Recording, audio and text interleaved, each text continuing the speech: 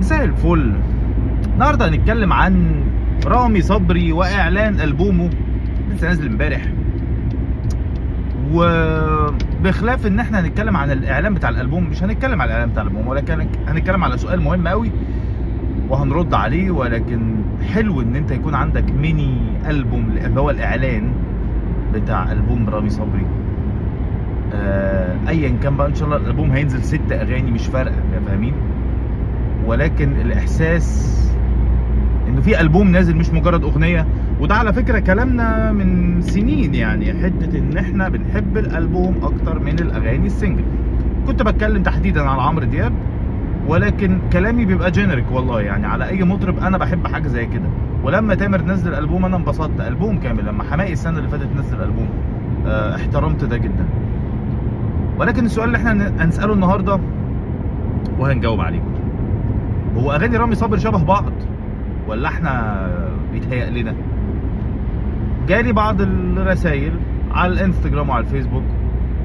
في ناس تقول لي الأغاني حلوة بس سمعناها قبل كده حسينا في حاجة أنا بشوفها في في الموضوع ده ولما بدي رأيي في أي كلام أو لحن أو توزيع ممكن أقول لك الأغنية كلامها حلو لحنها يعني توزيعها كويس حلو برضو. ده مش معناه إن لحنها وحش. بس معناها إن الكلام والتوزيع أعلى. ودي وجهة نظر شخصية. ردي مش هيكون بناء على أي حاجة بيرسونال أنا ما قابلتش رامي. بس يعني في في كلام قليل قوي بنعرف بعض يعني وده بحترمه جدا. وطلع في لايف قبل كده قال إن هو بيتابعني وهو عارف أنا بحترمه قد إيه وأنا عارف إن هو بيتابعني. ولكن حتة الأغاني اللي شبه بعض دي آه، اللي أنا هقوله ده مش دراسات يعني فاهمين؟ ولا دراسات ولا أبحاث ولا أي بتنجان. أنا راجل مستمع وبقول من وجهة نظري في نوعية أصوات صوتها بيطفو على سطح الأغنية. والله العظيم ما تحنيك ده بجد. يطفو على سطح الأغنية يعني إيه؟ يعني مهما تسمع جديد هو بيعمله هو أول حاجة بتيجي على بالك أو أول حاجة بتاخد بالك منها صوته مش الكلام واللحن والتوزيع. رامي صبري من الناس دي إليسا من الناس دي عمرو دياب من الناس دي الله يرحمه عامر منيب. أنا دي وجهة نظر شخصية يا جماعة. يعني فاهمين؟ ما قلتش إن ده حاجة مسلم بيها يعني. ولكن الأربعة دول تحديدا لما بسمع أي أغنية ليهم بقول لكم عمرو دياب. يعني أكيد يعني ما- يعني مش مش حاجة لا لا مدح ولا ذنب بس بتكلم إنه أول حاجة بتيجي أول ما تدوس بلاي الصوت مهما كان الكلام واللحن والتوزيع مختلف دي آه ده رامي صبري ف ما أعرفش ده إيه تحديدا المسمى بتاعه ولكن دي حاجة صوته ليه بصمة يعني. طبعا في ناس محنكين يقول لي طب والمطربين التانيين صوتهم ما لهمش لا مش كده. بس مش عارف اشرحها لكم إزاي بس ده فعلا بيحصل معايا مع عامر منيب إليسا عمرو دياب رامي صبري. باقي الأصوات التانية وباقي المطربين التانيين جامدين جدا وممكن يغيروا من جلدهم تماما ما صدقش إيه ده؟ هو ده هو ده مش عارف مين هو ده يعني كذا مطرب. ايا كان بقى تامر وحماقي وتامر عاشور ورامي جبال كل الناس دي ممكن تغير تماما. الأربع مطربين دول بالنسبة لي عامر وعمرو ورامي وإليسا مهما يغنوا جديد هم صوتهم دايما فوق بعد كده الكلام واللحن والتوزيع.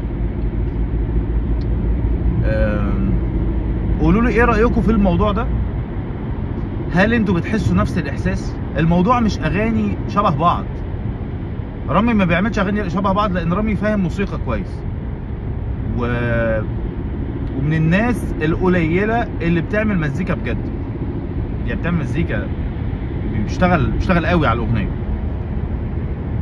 ف ده اللي أنا بشوفه إنه اللي هياخد باله من الحتة دي هت- هتحس دايما مش إن أغاني رامي شبه بعض لو لو شلت صوت رامي والأغاني دي سمعتها كده. بصوت. كل كل ملحن فيهم أغاني مختلفة تماما.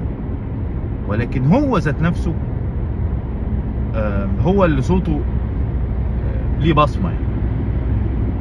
بس أكبر دليل على كده إن ممكن أقول لك مطربين كتير جدا غنوا أغاني شبه بعض بسبب اللحن. اذا الموضوع مش إن اغانيه شبه بعض في ألحان ممكن تبقى شبه بعض.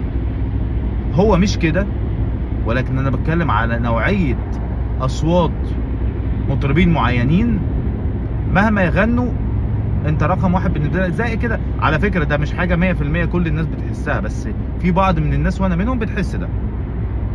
اللي هو مهما يغني أول حاجة بتيجي على يعني في ناس مثلا إيه آه الأغنية تشتغل يركز في الكلام فقط.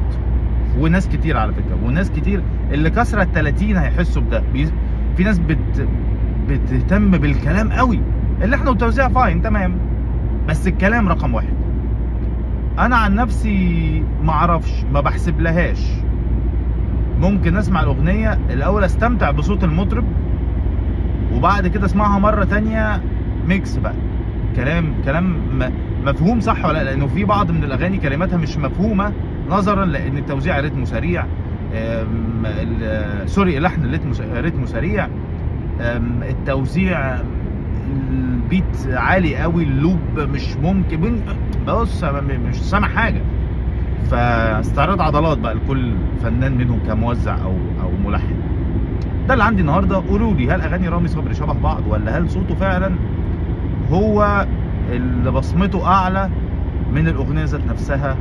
وزي الثلاث مطربين اللي غيره اللي أنا قلت عليهم. ده اللي كان عندي النهارده. أشوفكم في فيديو جديد. سلام.